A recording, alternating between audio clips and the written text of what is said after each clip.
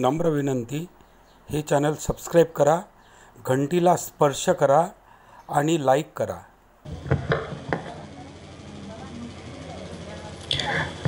यानंतर आपण दुसऱ्या वक्तव्याकडे वळूया. मित्रभू ज्यांना आपण या ठिकाणी बोलण्यासाठी प्राचारित करतो आहेत मुंबईचे आहेत समाजसेवक आहेत ज्यांनी सर्वात मोठं दान या मंडळासाठी दिलं आहेत जसे की कुर्त्या असो सगळ्या मंडळ मंडळासाठी. महिला वर्गासाठी साड्या असो सगळ्यात मोठं दान त्यांनी दिलेलं आहेत.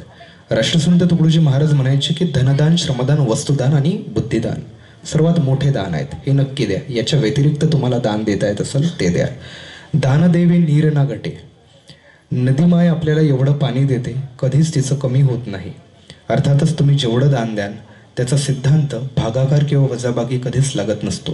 त्याचा सिद्धांत तुम्हाला मल्टिप्लिकेशन म्हणजे गुणाकारणच तुम्हाला भेटतं. दोन देणार multiplied by two equals two फोरच तुम्हाला मिळणार. एनिवेज मी त्या पाहुण्यांना विनंती करतोय. आदरणीय श्री डॉक्टर नारायणभाऊ राठोड साहेबांच्या कार्यक्रमाचे उद्घाटक. त्यांनी या ठिकाणी येऊन आम्हाला संबोधित करावं जोरदार टाळ्या व्हायला हव्या.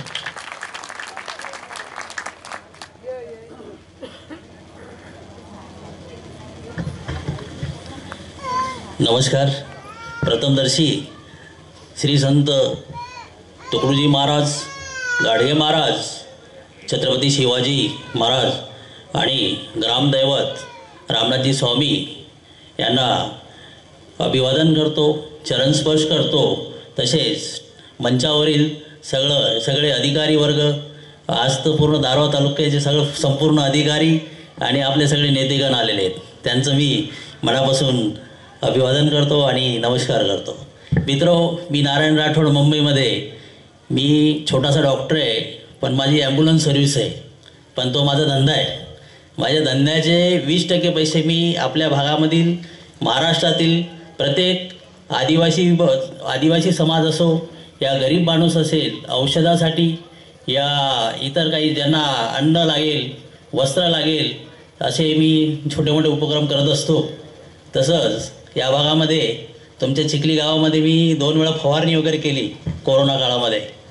आणि तसं माझं परिचय छोटासा आहे. फक्त ॲम्ब्युलन्सवाला कोरोना कोरोनाच्या वेळेस मी सहा ॲम्ब्युलन्स दिली.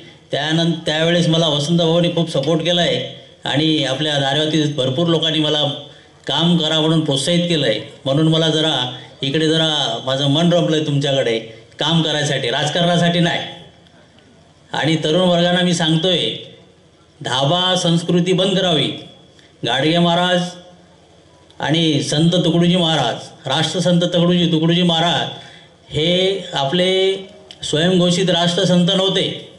ते राष्ट्रसंत जेव्हा स्वातंत्र्य काळामध्ये त्यांना आतमध्ये टाकण्यात आलं कारण की त्यांचं एक गाणं आहे ना एक भजन त्यांचं प्रचलित झालं होतं तेव्हा ते तरुण वर्गांना प्रोत्साहित करत होतं स्वातंत्र्यासाठी. त्यावेळेस वीर सावरकर सारखे आणि असे अनेक वीर सैनिक वगैरे तयार झाले. त्यावेळेस महाराजांना आतमध्ये काही दिवस जेलमध्ये टाकण्यात आलं. नंतर कालांतराने सुटले. एकोणीसशे पन्नासच्या काळामध्ये जेवढी महाराजाची गरज होती तेवढीच आपल्याला कोरोना काळामध्ये भासवली. कारण की सर्वधर्म समभाव ते आपल्याला कोविड पिरियडमध्येच अनुभवाला भेटलं आहे तर त्याच्यानंतर त्यावेळेसचे तत्कालीन राष्ट्रपती राजेंद्र प्रसादजी यांनी स्वतःहून त्यांना आग्रहाची विनंती केली की आम्हाला तुमचं भजन ऐकायचं आहे. मग महाराज हिंदीमध्ये मराठीमध्ये आणि सगळ्या म्हणजे भाषेमध्ये प्रचलित होते की प- महाराज खंजिरीमध्ये चांगले भजन गातात. आणि त्यावेळेस त्यांचं जे प्रबोधन होतं ते नॉर्मल याच्यासाठी नाही. ते गरिबांना पण खुश करायचे तुम गरिबी में मज्जी हो तुम अमीर हो. आणि अमीरांना सांगायचे की तुम अमिरी में क्या हो? तुम तुम्हाला आजार लागेल. तुम्हाला हे होईल. ते बघा ते मी गाणं वगैरे कधी ऐकत असतो तर ते माझ्या डोक्यामध्ये बसत असतं. असं काय मला काय जास्त भाषण वगैरे येत नाही. पण तरुण वर्गांना मी एकच सांगू इच्छितो.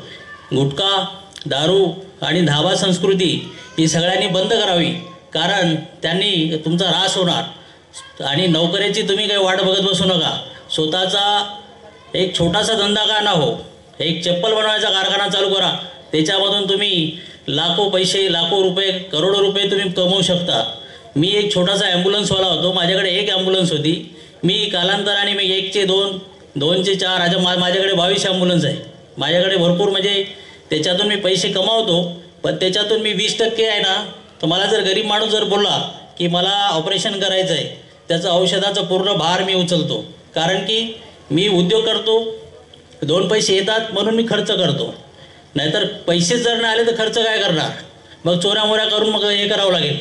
म्हणून बोलतोय की सगळ्यांनी या भजन स्पर्धेचा आनंद घ्यावं. आणि माझे मित्र चुडे महाराज आहे. तर चुडे महाराज मला आग्राची विनंती केली की तुम्हाला यावं लागेल. नंतर घोंगे सर बोलले की काम चांगलं आहे तुम्ही या. म्हणून मी इकडे आलो आहे आणि आवर्जून आलो आहे कारण की मला भजनेचं आणि आपल्या लोकांचं मला स्वाभिमान आहे. या भागातला आहे मी करसगावचा. म्हणून इकडे मला जरा गर्व पण वाटतो की मी या भागातला आहे.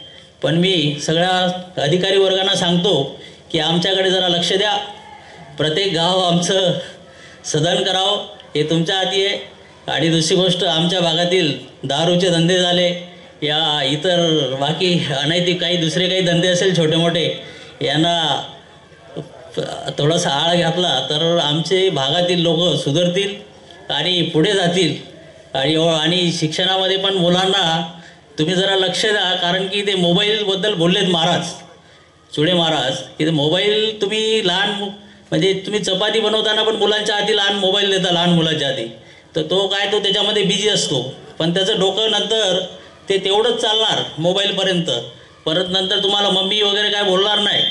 नंतर हळूहळू हळूहळू ते यूट्यूबमध्ये काहीतरी वेगवेगळे काहीतरी दु- बघायला भेटतात. आजकाल माणसं पण व्यस्त असतात. ते यूट्यूबमध्ये कामधंदा सोडून बसतात तासोन तास त्याच्यामध्ये जातं. तर ते सगळं बंद करा. मोबाईल ठीक आहे फोन येईपर्यंत धंद्यासाठी चांगला आहे. त्याला पण आळा घाला यूट्यूब वगैरे जास्त बघू नका. बघायचं असेल तर भजन ऐका. महाराजांचे भजन ऐका. आणि एवढं मी बोलतो आहे या मंडळाने मला बोलवलं आहे याच्याबद्दल मंडळाचं मी ऋणी आहे. आणि चिखली ग्राम असेच पण ऋणी आहे. धन्यवाद.